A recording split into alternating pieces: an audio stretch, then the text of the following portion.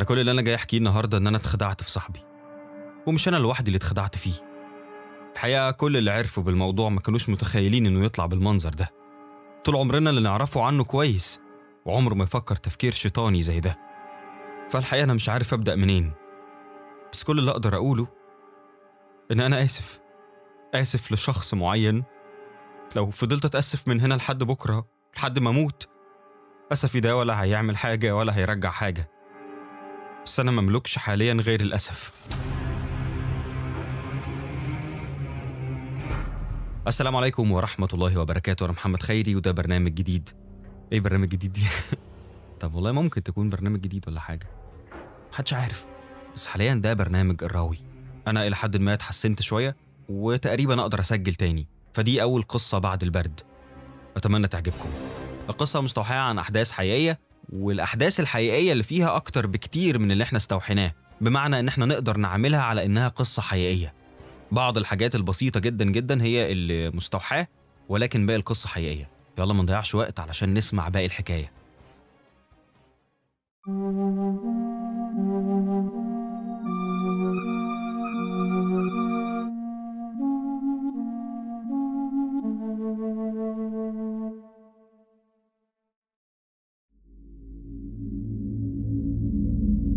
بقى الموضوع يا سيدي بدأ من عزا أبو واحد صاحبنا اسمه طارق.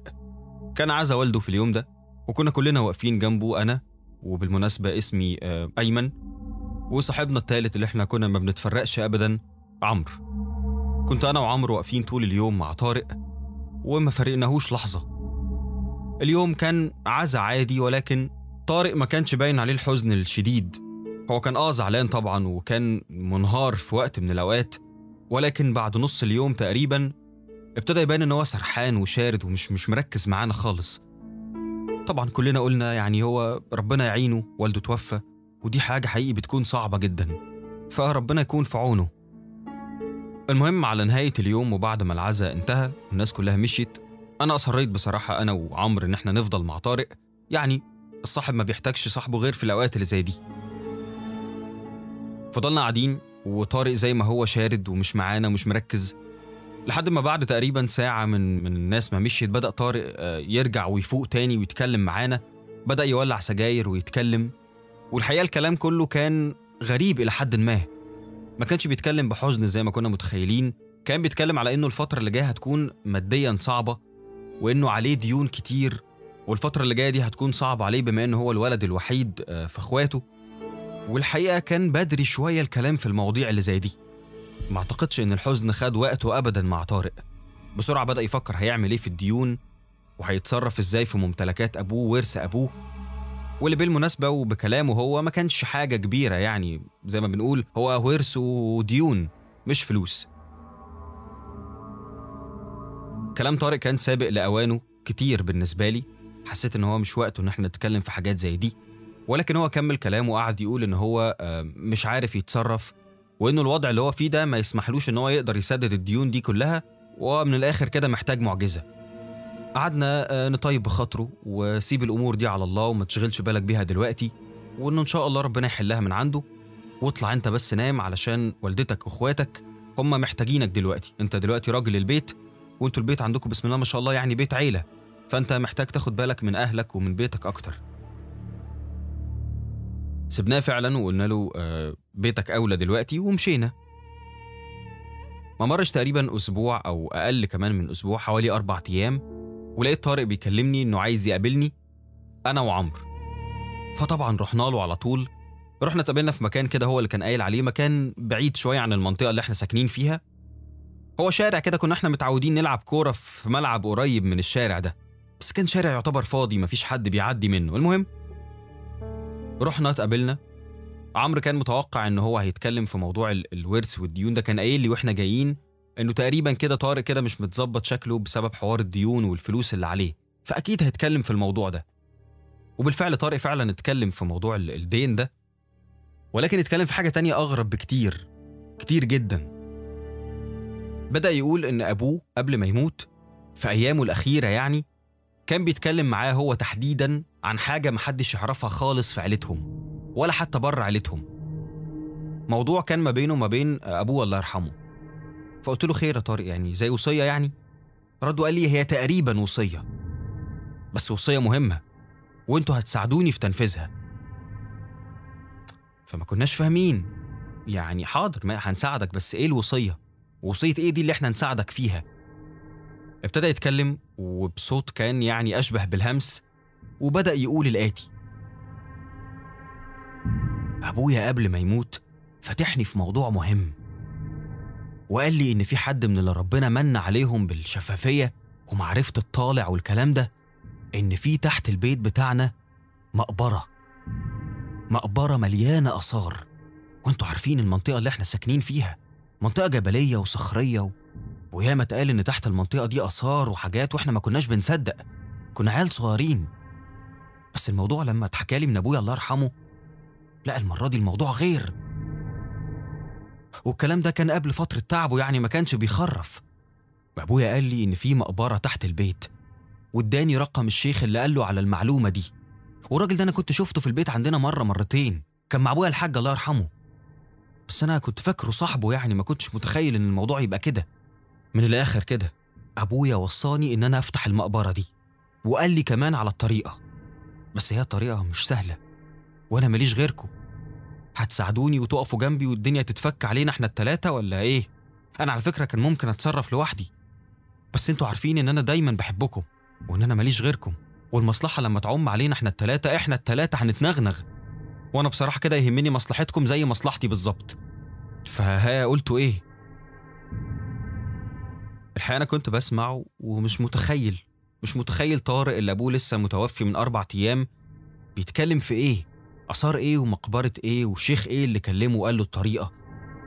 قلت له طارق أنت مش شايف إن الموضوع ده يعني أنا مش عارف والله أقول لك إيه هو هو ده وقته؟ أنت بتتكلم في إيه إمتى؟ اعذرنا أنا آسف. عظم التربة اللي لسه دافنين فيها أبوك يعني الكلام ده مش أوانه يعني. عمرو رد وقال له أنا متفهم الحالة اللي أنت فيها وأنا عارف إن أنت زعلان على موت الحاج وعشان كده عايز تعمل أي حاجة هو كان قايل لك عليها. بس يا طارق الكلام ده بدري عليه والكلام ده أصلا خطر يعني أنا مرجحش حاجة زي دي. موضوع زي ده أكيد ممكن يجيب لنا كلنا كارثة. فأنا بصراحة مش متأكد إذا كان صح إن إحنا نتكلم في حاجة زي كده ولا لأ. طارق اتعصب جدا ومش بس بقى عصبي ده بقى كمان بيعيط وعمال يقول لنا أنتوا مش عايزين تقفوا جنبي. وبدأ يتكلم بأسلوب غريب جدا.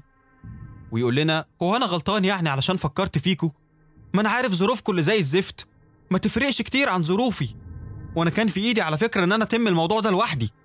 بس أنا ما استغناش عنكم. ومتعودين إن إحنا على الحلوة والمرة مع بعض. اخص عليكم. أنتوا قفلتوني. خليتوني أحس إن أنا ندمان إني كلمتكم. ندمان إني حاسس إن أنا بكلم إخواتي مش أصحابي. وهو أنتوا لو كان الموضوع ده عند واحد منكم ما كنتوش هتكلموني؟ ما كنتوش هتقفوا جنبي وتساعدوني؟ أنا الحق عليا اللي عايز أقف جنبكم وأساعدكم. ومن باب أولى بدل ما أستفاد لوحدي نستفاد كلنا. أنا ما بقولش ساعدوني كده وخلاص. أنا بقول ساعدوني والمصلحة تعم علينا كلنا. بصيت لطارق وأنا جوايا كلام اللي هو يعني أنت مش بتكلمنا علشان أنت مش هتعرف تعمل ده لوحدك؟ فبتلجأ لينا يعني؟ أنا عارف طارق من زمان هو مش وحش. ولكن الكلام ووقت الكلام بالتحديد هو ده اللي كان مسبب لي أزمة. قلت له طارق بص أنا مش هقول لك زي عمرو بقى ال- الموضوع ده خطر والكلام ده لأن أنت أكيد مقتنع إنه مش خطر وده واضح من طريقة كلامك. بس هقول لك يا طارق فكر مرة واتنين وتلاتة أنت في حالة نفسية برضو مش كويسة والدك لسه متوفي الله يرحمه ادعي له بالرحمة. ادعي له بالرحمة يا طارق. عدى طارق الفترة اللي أنت فيها دي على خير وخليك جنب أمك وأخواتك. يعني أنا مش عارف أنت بعيد عنهم ليه دلوقتي؟ أنت دلوقتي المفروض شغلك الشاغل تبقى جنب أمك وأخواتك. أكتر من كده ما تفكرش. سيب الموضوع ده يا طارق واركنه على جنب وبعدين بحطه في دماغك وفكر فيه. ومن غير ما عمرو يتكلم وأنا عارف إنه هيوافقني في الرأي إحنا معاك في أي حاجة. بمعنى إن إحنا معاك على الحلوة والمرة زي ما أنت لسه قايل. ده مش كلام. إحنا أخوات أكتر من كنا أصحاب. بس عشان خاطر أبوك الله يرحمه بالله عليك انسى الموضوع ده دلوقتي. طارق قعد يقول لنا أنتوا أحبطتوني أحبطتوني. وراح واخد بعضه وماشي. بصيت لعمرو بصراحه عمرو ما كانش عنده أي إضافة على الكلام اللي أنا قلته هو كان موافقني الرأي. يفوت وقت وإحنا طبعا بنتقابل وبنتكلم بس ما بنجيبش سيرة الموضوع ده خالص خالص ولا حتى طارق. ولكن حاسين إن في حاجة متغيرة في طارق. دي حاجة ما نقدرش ننكرها. عدى وقت وما كناش عارفين عدى قد إيه لحد ما طارق كلمنا في يوم تاني برضه بس ده كان عدت مدة طويلة وكان اليوم ده هو الأربعين بتاع والده. كان فات أربعين يوم على وفاته. فطبعا مشغلين قرآن في البيت واليوم ده يوم عائلي يعني مش عايز أقول هي مناسبة ولكن إحنا ملناش إن إحنا نروح ولكن طارق كلمنا تعالوا. رحنا فتح لنا الشقة اللي كانت في الدور الأرضي دي ما كانش حد قاعد فيها تقريبا في البيت بتاعهم ودخلنا قعدنا في الشقة وطارق جاب لنا آه، حاجات نشربها وكان برضو البيت كله يعني القرآن كان شغال فيه بصوت عالي البيت كله بالكامل. وبعد شوية كده والدنيا هديت شوية وقرايبهم اللي كانوا موجودين مشيوا. بدأ طارق يتكلم ويقول أظن دلوقتي يا عم أيمن أنت وعمر محدش فيكوا ليه حجة. النهاردة الأربعين بتاع أبويا الله يرحمه. عدى وقت خدنا كفايتنا من الحزن ودعينا له وقرينا له كتير. ربنا يرحمه ويسكنه فسيح جناته. نتكلم في المهم بقى. فاكرين الموضوع اللي حكيت لكم عنه؟ موضوع المقبرة؟ لسه عمرو هيتكلم. قال له بص يا عمرو بالهداوة كده. أنا كلمتكم أنتوا الاتنين علشان عارف إن أنتوا مش هتجيبوا سيرة لحد. وعشان أنتوا إخواتي. وعلشان أنتوا اخواتي أنا هقول لكم الموضوع بالكامل. جه معاكم تبقوا معايا وفي ظهري كان بها. ما جاش الموضوع معاكم خلاص أنا مش هضرب حد على إيده. بس وقتها ما تزعلوش مني لو أنا اتغيرت معاكم لأني كده هبقى أنا اللي عايز أقف في ظهركم وأنتوا مش عايزين تقفوا في ظهري. هبقى أنا اللي فكرت فيكم وأنتوا اللي نسيتوني. الموضوع مش كبير يا عم عمرو ومش خطر. أنا طول الأيام اللي فاتت دي الموضوع ما غابش عن بالي لحظة وعرفت كل حاجة. أنا هقول لكم واللي أنتوا عايزين تعملوه اعملوه. بس أنا بخلصت ضميري قدام ربنا وعرضت عليكم الاستفادة. عايزين تستفيدوا استفيدوا. مش عايزين يبقى أنتوا اللي وش فقر. أنا اتأكدت إن في مقبرة تحت البيت. اتصلت بالشيخ المحمدي اللي أبويا ساب لي رقمه وجبته. شرح لي الموضوع كله والموضوع كله بسيط. مش هياخد مننا أيام. كام يوم نخلص فيهم الموضوع وكل واحد ينسى حياته القديمة دي تماما. لأن اللي جاي حاجة تانية بقى خالص. عربيات وقصور ودنيا أنتوا ما كنتوش حتى تحلموا بيها. وأنا مش بقول كلام على الفاضي أنا عارف إن هو كلام أفلام. بس أنا اتأكد لي وبالأدلة. الراجل وراني. أنا شفت بعيني. شفت بعناية دي اللي هياكلها الدود. كل حاجة متظبطة مفيش حد فيكم له حجة. فاسمعوا بقى. الموضوع كله بيتلخص إن المقبرة دي عليها حماية. جميل؟ الحماية دي بقى هيفكها لنا الشيخ اللي إحنا إن شاء الله هنرضيه بعد ما نخلص بمبلغ محترم. هو كان رافض إن هو ياخد فلوس وهو قال لي أنا بنور الناس كده لوجه الله بساعدهم. بس أنا أصريت برضو علشان يساعدنا للآخر إن أنا اراضيه وطول الفترة اللي فاتت دي أنا كنت براضيه يعني ربنا يعلم أنا طلعت فلوس قد إيه. بس كله في الآخر لمصلحتنا. فاسمعوا. الراجل ده اتفق معايا ان هو هيديني شوية حاجات كده ارصها في البيت. هعرفكم الحاجات دي إيه هي. الحاجات دي بأمر الله يعني كله بأمر الله. هتفتح لنا أبواب الحماية. بمعنى أنا زي ما قلت لكم المقبرة دي عليها حماية عليها حراسة. حراسة من أنتوا عارفين بقى من الجن.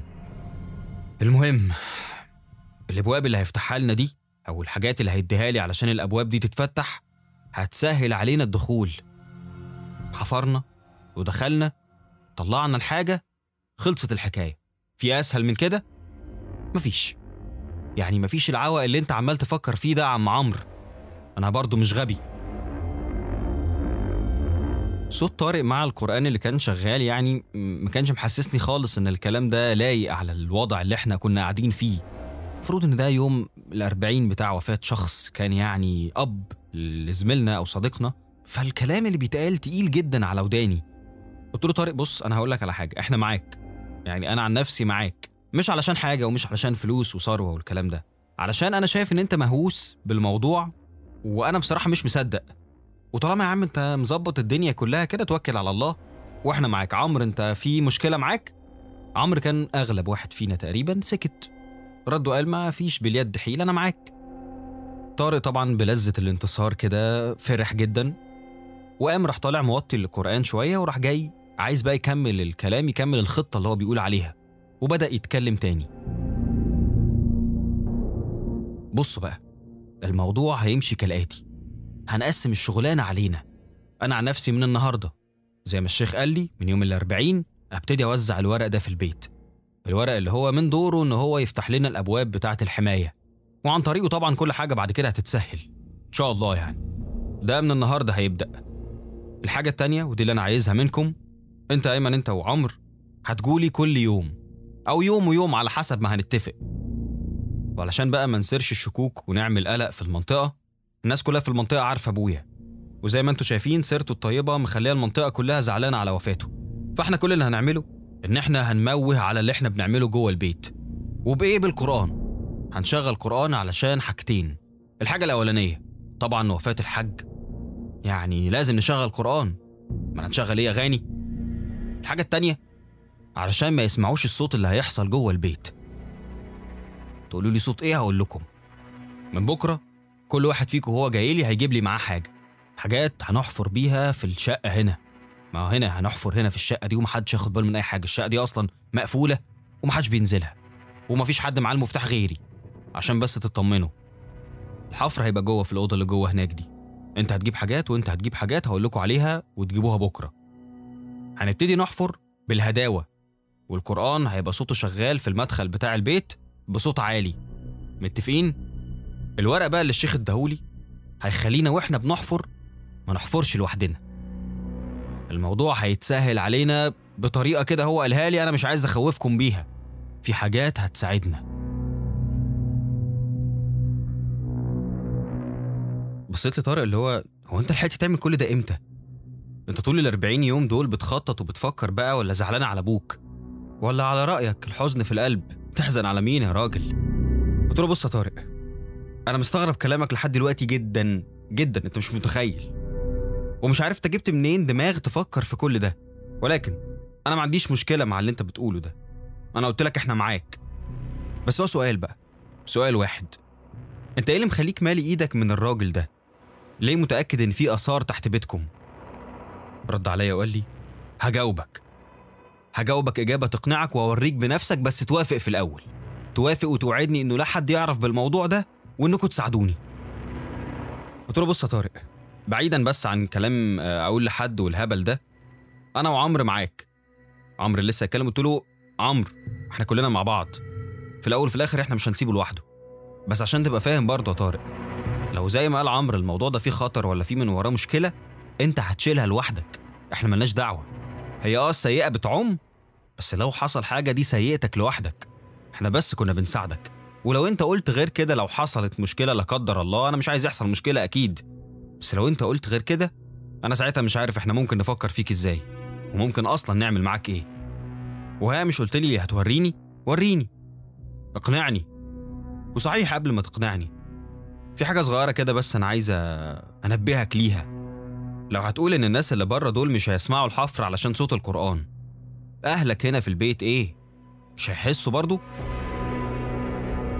رد عليا وقال لي أمي مش قادرة تقعد في البيت اليومين دول. وقاعده عند أختي من ساعة اللي حصل وما جاتش النهارده غير بس علشان الأربعين علشان تستقبل الناس وبعد كده هترجع تقعد تاني عند أختي. ولسه قدامها ولا أسبوعين على ما تتحسن وترجع. أنا مرتب كل حاجة ومش عايزكم تشغلوا بالكم بأي حاجة تانية. أهم حاجة ننفذ اللي قلت عليه بالحرف. عملنا كده؟ خلاص. الدنيا هتمشي زي الفل وأنا مرتب لها. وعلشان تقتنع يا سيدي أنت وهو أنا هوريكم. وراح قايم طارق. راح على باب الشقة اللي إحنا كنا قاعدين فيها تحت دي. وراح قافل الباب. كان الباب مفتوح كده متوارب قفله. وقال لنا تعالوا معايا دخلنا على أوضة كده جوه. الأوضة كانت مقفولة متجنزرة كده بقفل. طلع مفتاح وفتح القفل وفتح لنا الأوضة. الأوضة كانت ضلمة جدا مفيش فيها أي شبابيك أو تقريبا كان فيها شباك. أنا خدت بالي إن في شباك بس متقفل متقفل بخشب. خشب من اللي هو التقيل اللي هو بتاع البونه ده. أول ما دخلنا الأوضة الأوضة من جوه حر جدا. حر حر يعني. مع إن الأوضة كانت فاضية خالص ما فيهاش أي حاجة لا عفش ولا أي حاجة مفيش غير سجادة بس على الأرض. سجادة مش مستوية كده على الأرض. دخل طارق شال السجادة دي علشان نلاقي من تحتها بلاط متكسر بلاط متخلع من مكانه وكان فيه بوادر حفر زي ما يكون حد ابتدى يحفر وبعدين وقف. قعد طارق يزيح بإيده كده ال- ال- البلاط اللي على الأرض ده وبدأ يخبط بإيده على الأرض. وكان في زي سيخ معدن مغروس في نص ال- الحفرة دي. سيخ معدن أنا معرفش هو واصل لحد فين. المهم بعد الخبط اللي على الأرض ده راح ماسك ال- السيخ ده وبدأ يخرجه من مكانه ويهبده على الأرض.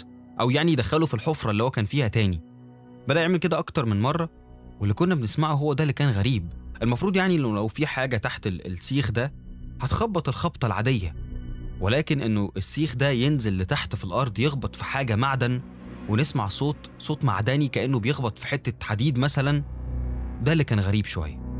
ضرب عليها كذا مرة سمعنا صوت المعدن وتأكدنا إنه اللي تحت ده مش أرض. في حاجة معدنية فعلا تحت الأرض. الحاجة المعدن دي إيه؟ إحنا لسه مش عارفين بس واضح إنه طارق عارف. لأنه بصلنا وهو بيضحك وقال تحت عمق كام متر من الأرض دي؟ في باب. الراجل قال لي إنه أول ما هنوصل هيتفتح. هنقرا كام حاجة كده وهيتفتح. سامعين الصوت ده؟ ده صوت الباب. هو ده بقى اللي مخليني بتكلم بقلب وعارف أنا بقول لكم إيه. خلاص متفقين؟ يلا بينا بقى نطلع علشان لو حد نزل من فوق. طلعنا وقفلنا الأوضة قفلها تاني بالقفل اللي كان معاه. وأنا وعمرو مشينا. على مدار أيام كنا بننفذ خطة طارق بإصرار شديد جدا منه. عملنا كل اللي هو قال عليه. نجيب العدة ونقعد نحفر ونشغل القرآن زي ما هو قال. وطبعا القرآن بصوت عالي علشان يغطي على صوت الحفر اللي إحنا كنا برضه حريصين إنه ما يبقاش عالي. التراب كنا بنوزعه على جوانب الأوضة علشان نعرف نكمل. في شكاير كده كنا بنعبيه في شكاير ونحطه على جنب. الغريبة إن وقت الحفر حقيقي كنا حاسين إنه إن إحنا مش بنحفر لوحدنا. وكأن في نوع من أنواع المساعدة بتحصل. في شيل التراب في تعبيته في الشكاير. في شيلة الشكاير نفسها وحطها على جنب. كنا حاسين دايما إن في حد معانا في إيد بتساعدنا إحنا مش شايفينها. المجهود كان أقل والتعب اللي كنا بنحس بيه ما كانش بيطول. واستمرينا على كده كام يوم واللي خلانا نتأخر في إن إحنا نوصل للعمق المطلوب هو إننا كنا بنحفر زي ما قلت بشويش جدا علشان محدش ياخد باله. مهما كان صوت القرآن عالي كان برضه هيحصل صوت لو إحنا كنا اتغشمنا شوية. كان كل ده لحد اليوم الموعود. اللي عمري ما انساه أبدا. بس قبل ما أحكي اللي حصل في اليوم ده قبلها بيوم كان الحفر خلص ووصلنا لباب معدن فعلا. كان مصدي باب حديد كده مصدي قديم وتقيل. حاولنا نحركه ما قدرناش وحتى طارق نفسه منعنا إننا نحرك الباب ده. طارق قال لنا إنه خلاص فاضل خطوة واحدة بس وهو اللي هيقوم بيها. سألته أكتر من مرة إيه الخطوة دي قال لي إن دي حاجات قالها له الشيخ وإنه لازم يلم الورق اللي هو قال هيلمه من البيت. لأنه زي ما قال في الأول هو موزع ورق على البيت بالكامل وده اللي من دوره إن هو يساعدنا على فتح الأبواب المغلقة. قال لنا إنه تاني يوم هنروح علشان في حاجة أخيرة هنعملها وبعد كده الباب هيتفتح ونلاقي المقبرة اللي هو قال عليها. لما سألت طارق على الحاجة دي برضه ما ردش وكان باين عليه أو أنا لاحظت عليه التوتر والقلق. ولكن أنا قلت في قرارة نفسي كده أنا ماليش علاقة خالص بالحاجات اللي هو بيعملها مع الشيخ دي. أنا كل اللي ليا إن أنا أساعده في موضوع الحفر ده وخلاص. لكن غير كده الحاجات بقى السحر والحاجات اللي بيعملوها مع الشيوخ دي أنا ماليش علاقة بيها خالص. لحد تاني يوم. كان المفروض نتقابل الساعة 11 بالليل. طارق كلمني وقال لي إنه هيأخر الميعاد النهاردة ساعتين. فسألته ليه؟ قال لي علشان أمه تقريبا راجعة البيت النهاردة وهو مش عايزها تحس بأي حاجة لحد ما تمشي بكرة. فهنأخر الميعاد ساعتين على ما هي تكون نامت. قلت له ماشي. مفيش مشاكل. أنا هنزل أقعد على القهوة أشرب فنجان القهوة بتاعي وأجيلك يكونوا الساعتين عدوا. وفعلا نزلت قعدت على القهوة وبعد ساعتين رحت له. وصلت عند البيت عنده اتصلت بيه ما ردش قعدت أنادي عليه برضه ما ردش. لحد ما في النهاية ظهر من بلكونة ال- الدور الأول وقال لي إن هو نازل يفتح لي. وأخد وقت طويل جدا علشان يفتح لي. قعدت أنادي عليه تاني واتصل بيه. واتصلت بعمرو برضه اللي أنا ما شفتوش جه لحد دلوقتي والاتنين ما كانوش بيردوا. في النهاية خرج لي بعد تقريبا حوالي ربع ساعة وحدف لي المفتاح. دخلت وقبل ما أدخل الشقة وأنا في مدخل البيت بتاعهم طارق كان شكله غريب وشه أحمر زي الدم هدومه زي ما يكون كده لسه لابسها ولابسها غلط كمان. لما قربت عليه لقيت في وشه كده كذا خربوش وفي دم كده مكانه كان ممسوح ودراعه كله أحمر. قلت له في إيه مالك؟ شكلك عامل كده ليه؟ قال لي لا لا مفيش مفيش حاجة. "آه، انت شربت القهوة بتاعتك؟ قلت له آه شربت القهوة. مال في إيه يا ابني؟ في اللحظة دي حسيت إن طارق بيعطلني بيماطل في الكلام مش عايزني أدخل. على عكس كل مرة إحنا كنا بنيجي هنا فيها كان بيدخلنا على الشقة على طول علشان ما يثيرش الشكوك. كنا بندخل على الشقة عدل. دلوقتي هو واقف عند باب الشقة من بره في المدخل بتاع البيت وعمال يتكلم معايا ومش عايزني أدخل. وعمال يقول لي أنا تعبان أنا حاسس إن أنا مش قادر أكمل النهاردة. ما تخلينا بكرة؟ قلت له طارق في إيه؟ أنت مش منزلني من البيت ومقعدني على القهوة ساعتين علشان لما أجيلك تقول لي خلينا بكرة. في إيه؟ فهمني. ومال وشك عامل كده ليه ودراعك؟ في إيه؟ هو الولا عمرو فين؟ ما جاش؟ قبل ما أكمل السؤال بتاع عمرو ما جاش لقيته بيقول لي لا لا ما جاش. هو هو ما كلمكش؟ قلت له لا ما كلمنيش. هو أنت مش المفروض كلمته علشان يجي هو كمان متأخر ساعتين زيي ولا إيه؟ قال لي آه أنا أنا أنا كلمته.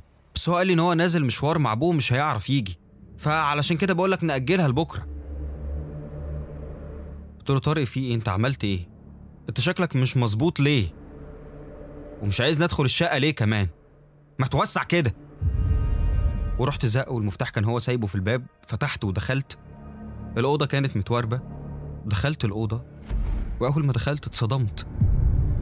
الأوضة على الحيطان بتاعتها كلها دم دم متعلم بكفوف أيادي على الحيطة أول ما لقيت المنظر ده كان كان هو ورايا قعدت أقول له هو إيه ده؟ هو ده اللي الشيخ قالك تعمله؟ تنجس المكان بالدم؟ دم مين ده يا طارق؟ دم مين انطق؟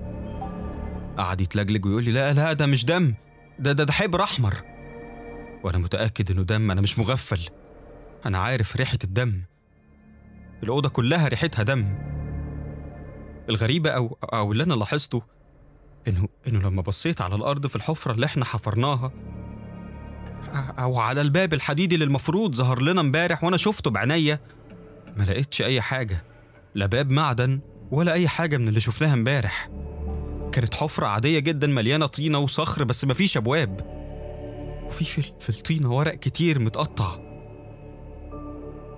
مسكت في طارق وقعدت أشد فيه وأقول له دم مين ده يا طارق؟ وديت عمرو فين؟ قتلته؟ قتلت صاحب عمرك يا طارق؟ وعلشان إيه؟ استفدت إيه؟ عملت إيه في عمرو يا طارق؟ الدم اللي على الحيطان ده دم عمرو مش كده؟ عمرو ما بيردش عليا من أول اليوم عملت فيه إيه؟ ابتدى يعيط ويزقني ويمرمغ نفسه في التراب ويقول قفلوا البوابة قفلوا البوابة ومش هيفتحوها تاني. نزلت عليه بقيت اضربه برجلي واقول له انت خاين يا طارق انت بتفكر في إيه؟ انت غدرت بعمرو علشان غلبان وعمره ما عرضك عمره ما قال في حقك ولا حق حد كلمة وحشة. ليه كده يا أخي؟ عمل لك إيه علشان تعمل فيه كده؟ تغدر بيه بالطريقة دي ليه؟ ليه يا أخي؟ حرام عليك. بتقتل صاحبك علشان إيه؟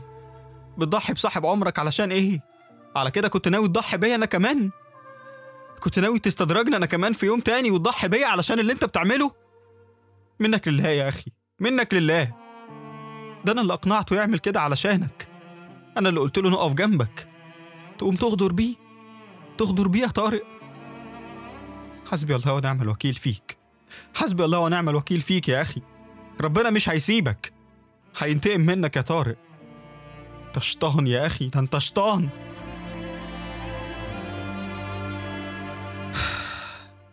بعد يوم المنطقة كلها اتقلبت عند بيت طارق. وده ببساطة علشان أنا بلغت بلغت عنه وقلت كل حاجة. الشرطة طلعت جثة عمرو من شكارة من شكاير الرملة. طلعوه مدبوح وجسمه متقطع نصين. اعتبروني شاهد ملك لما حكيت لهم كل حاجة ولما كمان أكدت إن أنا كنت في حتة تانية وقت وقوع الحادثة. وإن أنا في الأول كنت بساعده بس لما عرفت نواياه قررت إن أنا أبلغ عنه. من يومها وأنا حاسس بالذنب ناحية عمرو. عمرو اللي أنا وافقت بنيابة عنه وجريته لكل ده. عمرو أنا آسف. والله العظيم آسف. أنا لو كنت أعرف إن كل ده هيتسبب في موتك وبالطريقة دي وعلى إيد مين؟ على إيد طارق صاحبنا. أنا كنت عمري ما هوافق أبدا. ما كنتش عمري هعمل فيك كده. أنا آسف يا طارق. بجد آسف. يا ريت تكون مسامحني وعارف إن أنا إن أنا والله ما كان قصدي. أنا طول عمري عارف ظروفك. ولما فكرت في الموضوع ده ووافقت بالنيابة عنك والله كان في بالي الظروف اللي بتمر بيها. كنت عارف إن الدنيا مقفلة معاك وإن أنت كنت بتحكي لي أنا دونا عن كل الناس. وعشان كده وافقت. وافقت لما حسيت إن ده ممكن يساعدك. ما كنتش أعرف والله ما كنت أعرف. سامحني. سامحني يا عمرو. بكده تكون انتهت القصة أتمنى تكون عجبتكم. الأحداث الحقيقية اللي حصلت في القصة دي حصلت هنا في مصر وكتير جدا بنسمع عن حاجات زي دي. كتير جدا ناس بيخيل ليها أو بيتم إقناعها بشكل أو بآخر إن في حاجات تحت بيتهم آثار وما إلى ذلك وبيتم تغفيلهم تماما عن اللي هيحصل وفي النهاية بيفوقوا يلاقوا نفسهم مسببين كوارث. فما تثقوش في أي حد وبلاش أحلام الثراء السريع والآثار اللي هتيجي تنغنغنا على آخر الدنيا دي. خلاص بقى كلنا عارفين إن تجارة الآثار أصلا حرام. فبلاش نثق في كلام الدجالين ده. تمام؟ الحاجة التانية بقى اللي أنا عايز أنوه عليها النهاردة هي قناة هتلاقوها تحت في صندوق الوصف. قناة محمود خيري اللي فيها المحتوى الصوتي والمرئي اللي أنا كنت عايز أقدمه. الحقيقة هو سرق مني ال- الفكرة. بس أنا طبعا بشجعه جدا للنهاية لأنه فعلا بيقدم محتوى أنا كان نفسي أقدمه ولكن هو بيقدمه بشكل أحسن ومتطور كتير جدا عني. لأنه مش بس بيناقش المواضيع اللي أنا بتكلم فيها لأ ده بيناقش مواضيع أهم وأكبر بكتير. فادخلوا على القناة هتلاقوا حاجات كتير جدا تعجبكم وهتلاقوني أنا شخصيا هناك. فندعمه كلنا علشان إحنا كمان لما نعمل محتوى زي ده نبقى نبقى بننافسه وبس كده. يا ريت لو الحلقة عجبتكم تعملوا like و share وتشتركوا في القناة لو أنتم مش مشتركين تفعلوا زر الجرس علشان يوصل لكم كل جديد. اشوفكم الحلقة اللي جاية. تصبحوا على خير.